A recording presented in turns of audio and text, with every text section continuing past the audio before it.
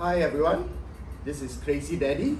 I do stuff with my son at home, my teenage son. Uh, we do forging, Bitcoin mining. Um, what else do we have? Uh, 3D printing and lots of repairs together at home. Uh, so I'm going to be doing today uh, this cleaning and servicing of this Roborock S5 by Xiaomi. Warranty is dead. If it's not dead, please don't uh, do anything uh, because your warranty will be void if you do stuff like what I'm going to do now. So this is the main problem. I've been servicing it. It's run for a good two years. Uh, wonderful uh, product. I love it. But it's got certain uh, problems with it. The main one being, I uh, it keeps on saying the filter is dirty uh, and the sensors need cleaning. I keep doing it and it just keeps not listening. It just keeps on with the same thing. I have obviously changed the filters. So today I'm going to open this up, uh, see what's happening and see if I, if I can do something about it. So first of all, let's figure out how to open this Roborock S5. There's a bunch of screws at the bottom, uh, which I'll take care of later. But let's see what I can do on top. This looks like a flap here. So I'm going to just pry this open so as not to damage it. I'm going to put some paper. Ah, this is my son's old t-shirt, Mr. Funny. Uh, that's now rag. Anyhow, back to business. I'm going to take this and just, there you go. Is it listening? Yeah, yeah, that's it. There you go. Just sometimes you got to be a bit brave with this kind of stuff. Just do it, and you know, oh, I've broken more stuff that I can remember, but being brave helps. There you go. That's try not to use something too small like a screwdriver because when it's small there's a lot of pressure so something a bit wider evens out the pressure without breaking anything oh the power is still on. I forgot to turn it off so I'm going to just press this and there you go. Okay so a uh, whole bunch of screws here. I'm going to probably remove the top here first. Mm. Take a look see what's in here. Oh I'll let me first remove the flaps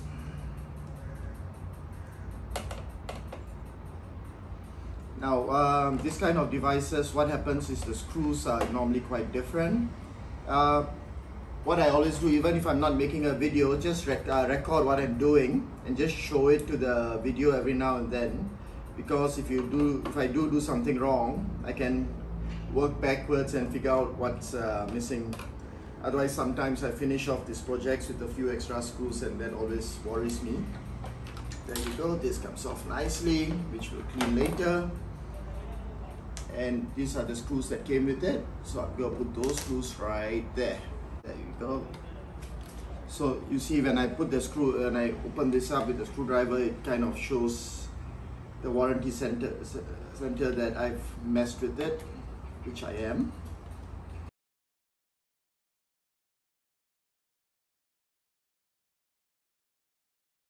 Uh, there's the sensors that you need to clean. You've got to be careful with this. This spins around and kind of gets a reading of the whole area. That's how it maps stuff out. Now, this itself is a filter, but there's a lot more to the whole track. So this gets cleaned often enough. I'm sure you've been doing that. So let me just show you how I, uh, it's a nice way to clean it and using the filter. So there's some a bit of dust in here which I've not cleaned, which going to clean out. And this, I'm sure you do often enough and you can wash this and dry it and it's a good thing. Now, the filter itself, it goes on this way. There you go, it goes in like this. But you can actually open this and rather than wash it, you see how dirty that is. You can just use another vacuum and just clean it off.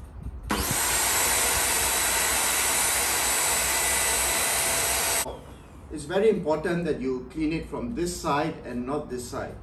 That's because it gets the air gets sucked in this way and this is a filter and dust comes in this way.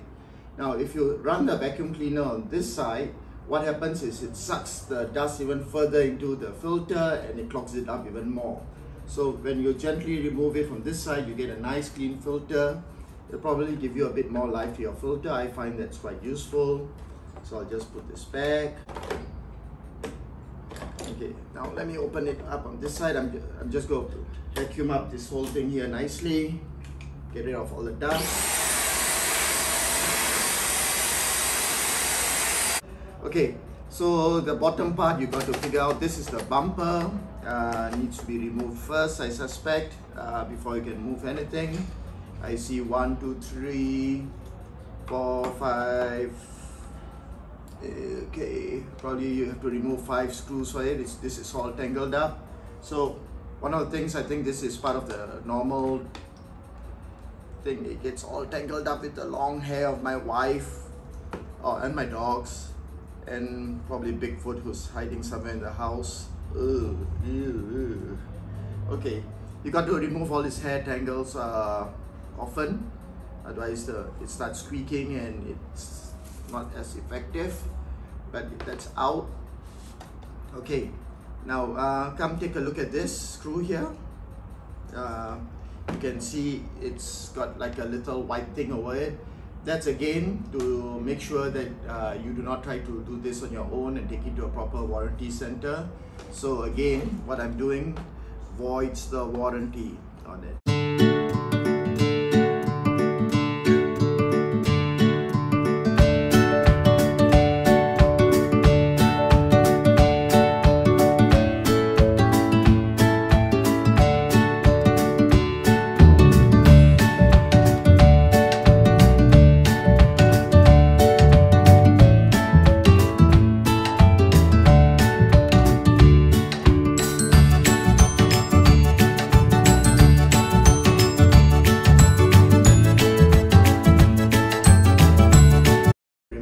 bumpers here but it seems like I do need to remove the bumpers to get it going.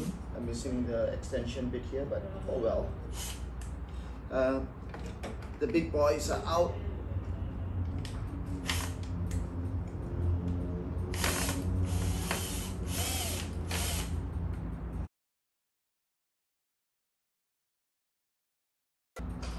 To take this top one off now just to see what's underneath there just for the fun. There we go. Nice and easy.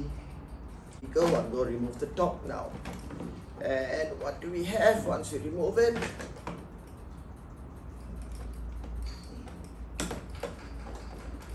Apart from very springy wheels.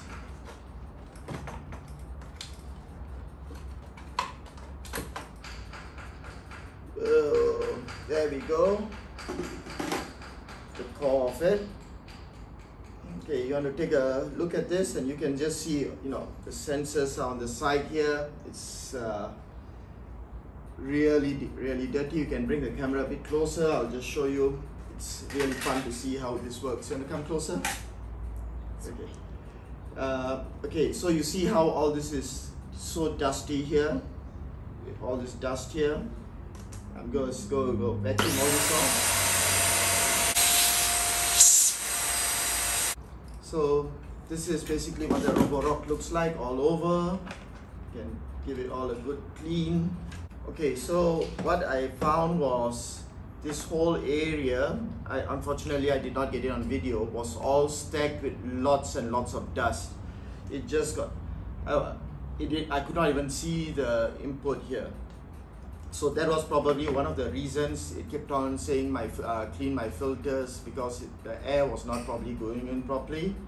Uh, I was totally shocked when I cleaned it off. A whole lump of dust just got sucked out of this part right here. So it's, uh, I'm not sure if you can access it uh, once the cover goes on. I don't think so, uh, but we'll take a look later uh, on this. So again, this you can see even uh, I've already vacuumed it once, but just if I to, you can see just the dust just flying off it.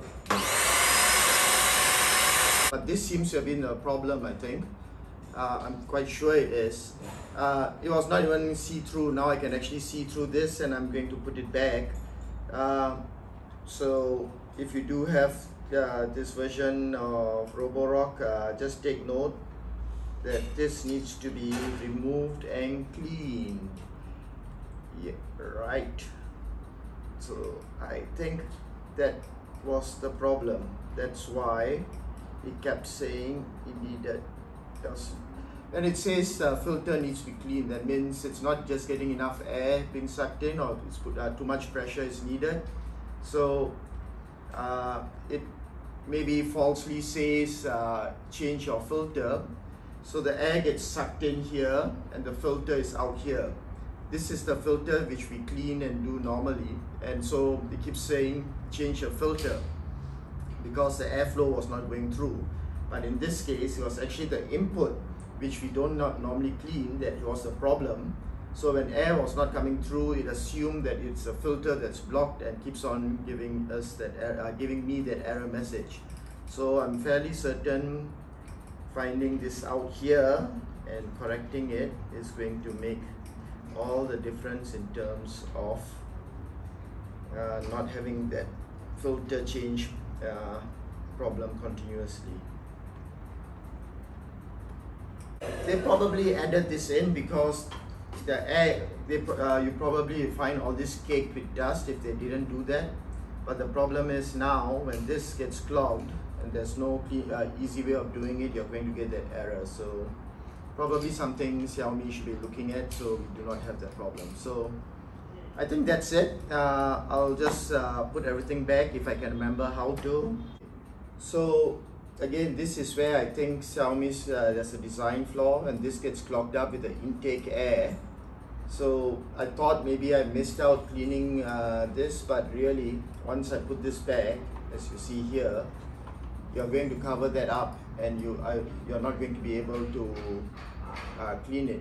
But if you notice is here, right here, if you put a vacuum cleaner to this head, you may be able to suck out a lot of the dust.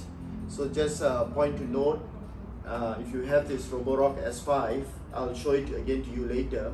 Uh, part of your servicing, once you do it every few months or so, put a vacuum cleaner to this intake valve here so that maybe you can suck out some of the dust that uh, that big chunk of dust that I found blocking it right here.